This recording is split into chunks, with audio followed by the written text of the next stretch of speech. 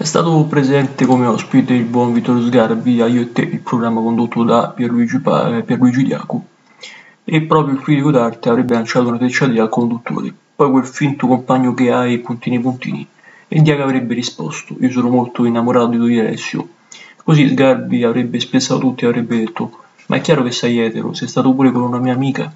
E così a quel, a quel punto, a quel preciso istante, il buon Pierluigi Diaco, il conduttore, sarebbe scoppiato a ridere e avrebbe detto questi però sono affari nostri. Insomma, chissà se c'è stato o no questo spiazzamento, anche se molti lo hanno etichettato come tale, ok?